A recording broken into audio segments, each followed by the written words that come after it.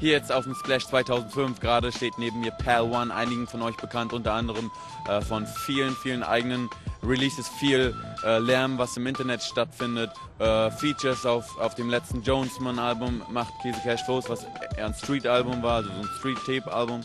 Ähm, unter anderem auch von dem aktuellen Pal Wolf ist eine aktuelle, ein aktuelles Release. Da steht 12 Inch drauf. Äh, sieht so ein bisschen aus, als wenn das, wenn das Maxi heißen sollte. Ist ja aber eine EP. Wie bist du darauf gekommen?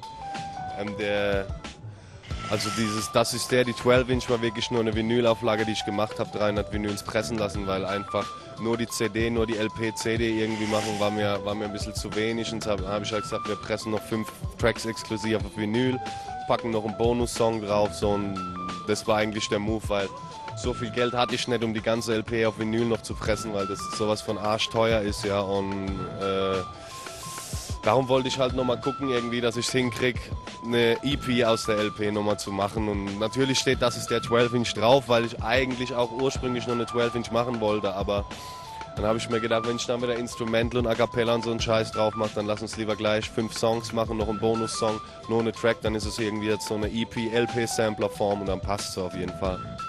Auf dem äh, Jonesman-Album, da habe ich noch von dir gehört, oder da habe ich den Eindruck gehabt, so Pal One hört auf, so das war so, so ein Abschiedsbrief. So, äh, jetzt war ich überrascht, dann doch Pal Wolf in der Hand zu haben und zwar eigentlich bissiger als je zuvor. Was, was ist passiert?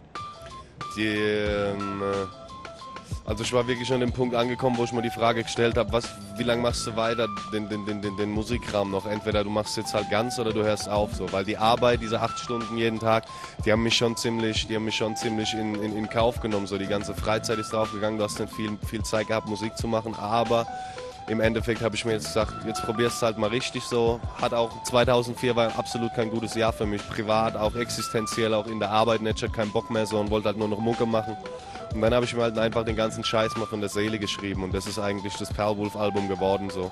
Da habe ich wirklich einfach nur gedacht, so lässt mal alles raus, was sich die letzten Jahre so angestaut hat.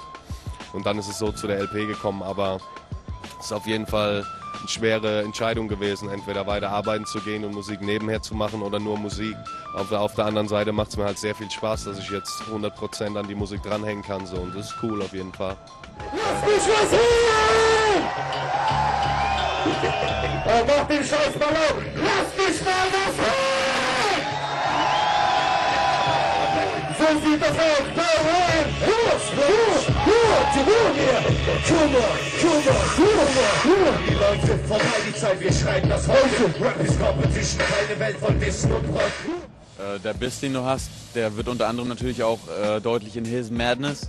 Ein Track, der, äh, was ich vorhin sagte, im, im, Internet auch viel Lärm verursacht hat, weil du hast zusammen mit hiphop.de äh, so, ein, so, ein, so, eine Art Wettkampf ausgeschrieben. Es geht halt darum, wer äh, bastelt den besten Remix, das liegt den besten Instrumentalteppich unter das A Cappella.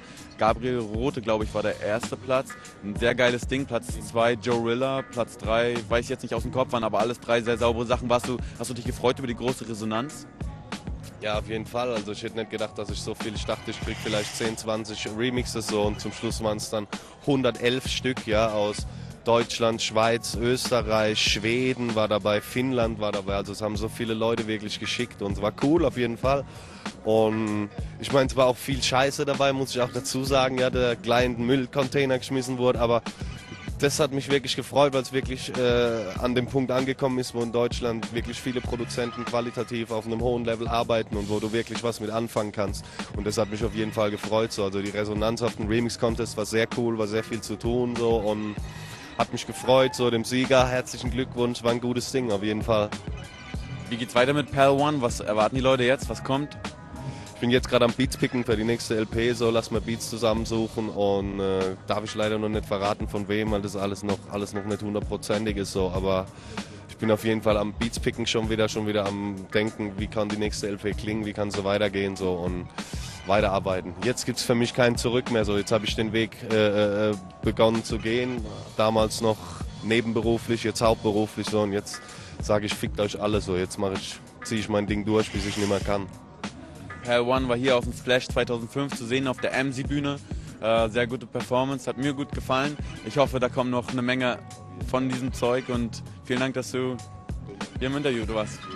Schnell, schnell,